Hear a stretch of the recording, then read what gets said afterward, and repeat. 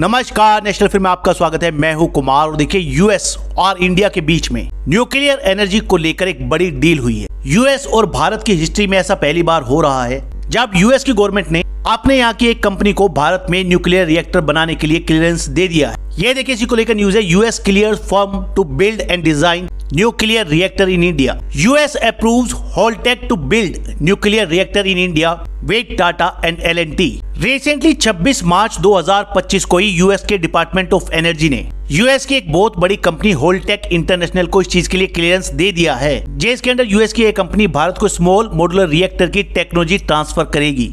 अब यूएस की Holtec international Bharat के लिए, भारत में ही और भारत की कंपनियों के साथ मिलकर भारत के लिए न्यूक्लियर रिएक्टर डिज़ाइन करेगी और उन्हें बनाएगी।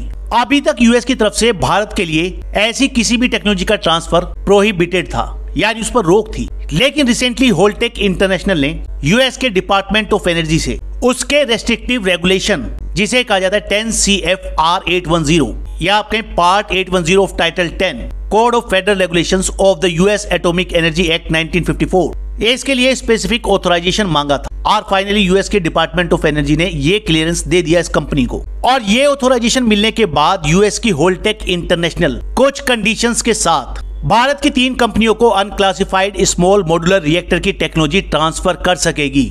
और ये तीन कंपनी है होलटेक एशिया जो होलटेक इंटरनेशनल की एक सब्सिडरी है। दूसरी कंपनी है टाटा कंसल्टेंसी सर्विस लिमिटेड और तीसरी कंपनी है Larsen and Toubro interestingly Holtec international के प्रोमोटर हैं Indian American Krish P Singh और इस कंपनी की जो होली ओन सब्सिडरी है होलटेक एशिया उसके ऑलरेडी भारत के पुणे में एक इंजीनियरिंग यूनिट है 2010 से और एक मैन्युफैक्चरिंग यूनिट है गुजरात के दहेज में। आप देखिए, अगर न्यूक्लियर एनर्जी को लेकर बात करें तो आज स्मॉल मॉड्यूलर रिएक्टर काफ़ी डिमांड में है। आप लोगों ने अगर न्यूज़ में देखा हो तो चाइना भी अब स्मॉल मॉड्यूलर रिएक्टर यानी एसएमआर पर ही फोकस कर रहा है। न सिर्फ़ अपनी कंट्री के लिए, बल्कि उन्हें एक्सपोर्ट करने के लिए भी। स्मॉल मॉड्यूलर रिएक्टर के अपने कई एडवांटेज भी हैं as compare to traditional nuclear power plant और इसलिए भारत और यूएस की एक कंपनी के बीच में ये deal that seriously major breakthrough in nuclear technology अगर आप लोगों ने न्यूज़ में पढ़ा हो तो रिसेंटली भारत सरकार ने भी अनाउंस किया था कि भारत पाँच भारत न्यूक्लियर रिएक्टर बनाएगा विद प्राइवेट पार्टिसिपेशन और ये जो भारत न्यूक्लियर रिएक्टर्स हैं, ये भी स्मॉल मॉडुलर रिएक्टर्स ही हैं. यानी भारत सरकार भी पाँच एसएमआर बनाने की तैयारी कर रही है। और ये पाँच रिएक्टर भी प्राइवेट कंपनियों के साथ मिलकर बनाए जाएँगे। ये जो डील हुई है यूएस की कंपनी और भारत की कंपनियों के बीच में। इसके लिए तीन मार्च 2025 को भारत सरकार ने यूएस की गवर्नमेंट को एक एश्योरेंस दिया है, जिसमें कहा गया कि तीन selected private entities L N T and Holtec Asia वो ये जो टेक्नोलॉजी ट्रांसफ़र होने वाला है इसे केवल पीसफुल न्यूक्लियर एक्टिविटीज़ के लिए यूज़ करेंगे। और ये जो सब एक्टिविटीज़ होंगी इस डील के अंडर ये इंटरनेशनल एटॉमिक एनर्जी एजेंसी की देखरेख में होंगी। भारत इस टेक्नोलॉजी को किसी भी तरीके से न्यूक्लियर वेपन किसी न्यूक्लियर एक्सप्लोसिव डिवाइस और अदर मिलिट्री पर्पज के लिए यूज़ नहीं करे। अभी ये जो यूएस के डिपार्टमेंट ऑफ़ एनर्जी ने ऑथोराइजेशन दिया है, ये फ़िलहाल 10 साल के लिए वैलिड है और पाँच साल बाद इसका फिर से रिव्यू किया जाएगा। साथ ही ये भी कंडीशन है कि जो भी टेक्नोलॉजी ट्रांसफ़र होगा या इंफॉर्मेशन ट्रांसफ़र की जाएगी होलटेक इंटरनेशनल की तरफ़ से भारत की तीन कंपनियों को। इनको छोड़कर ये टेक्नोलॉजी किसी भी और कंपनी के साथ शेयर नहीं होनी चाहिए, बिना यूएस के कंसेंट के। साथ ही होलटेक इंटरनेशनल को यूएस के डिपार्टमेंट ऑफ़ एनर्जी को एक क्वार्टरली रिपोर्ट सबमिट करनी होगी detailing the transfer of technology and assistance provided to Indian companies हालाँकि इन सब कंडीशंस के बावजूद भी ये एक मेजर डील है भारत और यूएस के बीच में। पहली बार ऐसा होगा कि यूएस की कोई कंपनी भारत में किसी भी तरह का कोई न्यूक्लियर रिएक्टर बनाएगी और उसे इंस्टॉल करेगी। अभी तक भारत में जितने भी न्यूक्लियर पावर प्लांट हैं, उनमें से किसी में भी यूएस की कंपनी का बना हुआ न्यूक्लियर रिएक्टर नहीं लगा है।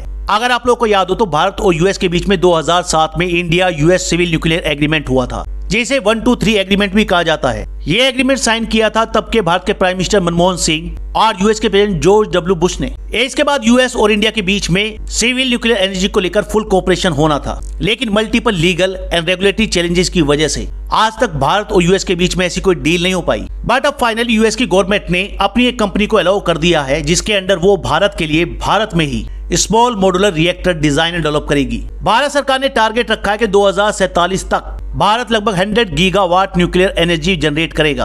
और भारत के इस 100 गीगावाट टारगेट में ये एसएमआर टेक्नोलॉजी एक क्रूशियल रोल प्ले करने वाली है। देखिए, जो स्मॉल मॉडुलर रिएक्टर होते हैं, यानी एसएमआर ये एक एडवांस न्यूक्लियर रिएक्टर है। इसकी मैक्सिमम कैपेसिटी होती है 300 मेगावाट पर यूनिट जो किसी ट्रेडिशनल न्यूक्लियर पावर रिएक्टर के कंपैरिजन में एक तिहाई हो सकती है। जैसे कि भारत का कुदांकुलम न्यूक्लियर पावर प्लांट है। उसकी इंस्टॉल कैपेसिटी है 6000 मेगावाट और इसमें एक एक हज़ार मेगावाट के छह रिएक्टर है। लेकिन स्मॉल मॉड्यूलर रिएक्टर की कैपेसिटी काफ़ी कम होती है। और इसके अपने कई एडवांटेज भी हैं। सबसे पहला एडवांटेज तो है इसकी को इसकी कॉस्ट काफ़ी कम होती है। दूसरा एडवांटेज ये है कि काफ़ी छोटे होते हैं। इतने छोटे कि इनको एक बड़े कंटेनर ट्रक में ट्रांसपोर्ट किया जा सकता है। जो ट्रेडिशनल न्यूक्लियर पावर प्लांट होते हैं, उसको लगाने के लिए आपने देखा होगा काफ़ी बड़ा एरिया चाहिए होता है। कंस्ट्रक्शन टाइम भी ज़्यादा होता है और कॉस्ट भी। लेकिन ये काफ़ी छोटे होते हैं। इजिली एक बड़े ट्रक में ट्रांसपोर्ट किए जा सकते हैं और फिर इजिली कहीं भी इंस्टॉल किए जा सकते हैं। इन्हें मॉडुलर इसलिए कहा जाता है क्योंकि इसके कंपोनेंट को किसी फैक्ट्री में इजीली असेंबल किया जा सकता है और असेंबलिंग के बाद एज ए यूनिट इजीली कहीं भी ट्रांसपोर्ट किया जा सकता है। ये जो स्मॉल मॉडुलर रिएक्टर होते हैं, ये भारत की डाइवर्स पॉपुलेशन के लिए बिल्कुल फिट है। मान लीजिए अगर कहीं भी कोई छोटा डेंसली पॉपुलेटेड एरिया है और उसके आसपास कुछ फैक्ट्रियाँ भी हैं तो उस पूरे एरिया को इस एक छोटे रिएक्टर से पावर जनरेट करके दी जा सकती है। साथ ही ये किसी रिमोट एरिया के लिए भी काफ़ी क्रूशल हो सकता है, जिसके बाद वहाँ तक ट्रांसमिशन लाइन लेकर नहीं जानी पड़ेगी। उसी एरिया में एक छोटा स्मॉल मॉडुलर रिएक्टर स्टेब्लिश किया जा सकता है। यहाँ पर एक और क्रूशियल पॉइंट है। फ़िलहाल चाइना की जो सरकार है, वो भी एस पर काफ़ी ज़्यादा स्ट्रेस दे रही है। चाइना इसे एज ए डिप्लोमेटिक टूल भी यूज़ कर रहा है। चाइना चाहता है कि ग्लोबल साउथ में उसके एस एम आर यानी स्मॉल मॉड्यूलर रिएक्टर लगे। ज़ाहिर है, यूएस और इंडिया दोनों ही चाइना के साथ कम्पीट कर रहे हैं। और इसीलिए ये डील दोनों कंट्रीज़ को चाइना के साथ कम्पीट करने में मदद करेगी। And seriously that's a big news for India फ़िलहाल इस वीडियो में इतना ही। नेक्स्ट वीडियो में जल्द मिलेंगे। धन्यवाद।